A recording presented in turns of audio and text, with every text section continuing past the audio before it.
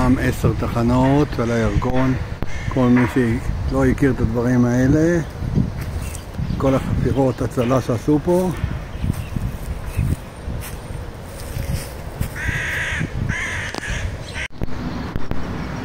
רק עשר תחנות. מתחם התחנות, הדר,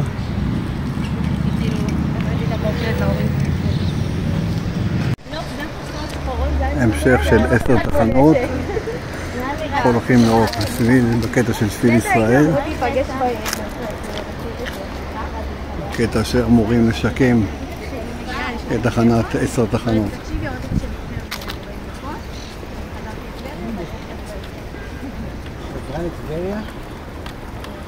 לא, היא לא הספיקה, היא אמרה שהיא זה. אבל היא צריכה להגיע לפני.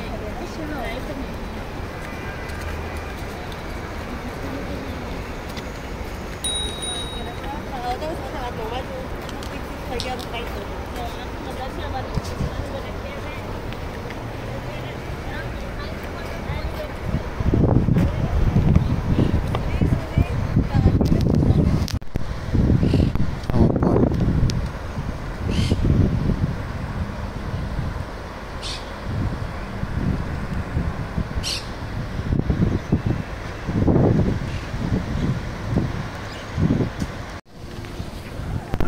הירקון, אנחנו על גשר המכבייה.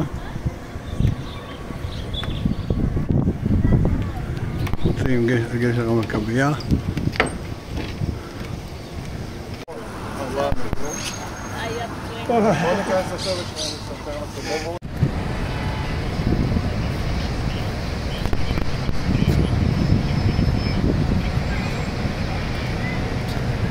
מקום חציית הירקון על ידי הצבא הבריטי במלחמת העולם הראשונה.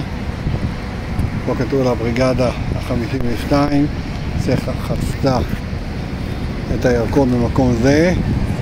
בניצחון של הצבא הבריטי נהדף קו החזית צפונה לאזור של הרצליה, נתניה בימינו. פה את הגינה המטופחת שאנחנו ממשיכים דרכה. כיכר הסמוכה לאצטדיון. פה יש דרך של גן לכל המחתרות.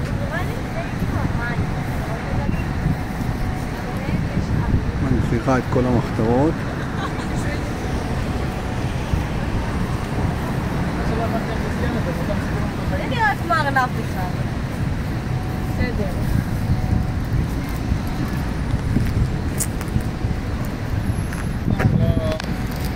אנחנו על השביל הצף לאורך הירקון.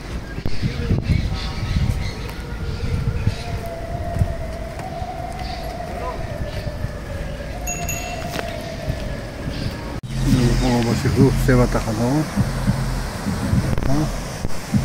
פה המים עברו דרך התמרונים האלה ולמעשה הפעילו את הבחינה.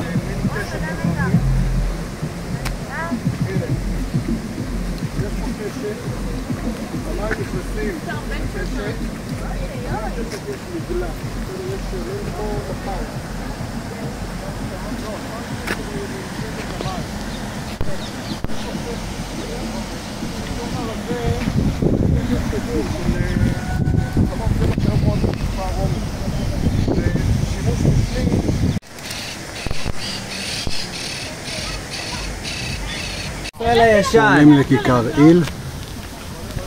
פעם זכרתי שאמרתי את זה על הכרמל, ואז ראיתי כמה הבחירות ולא היה ברור. נכון, אז על הכרמל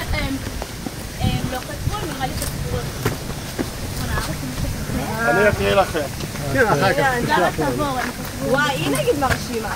זה אמיתי? לא, זה פיצול. לא יודעת. בלילה, אור לז' בטבת. וואי, איך הוא נראה ככה כמו המלך? יש לו את החרב. עשר אח, כיכר לירקון ועד השפל. המים. כיכר ג'ון עיל עומד על עמדה. טורקית,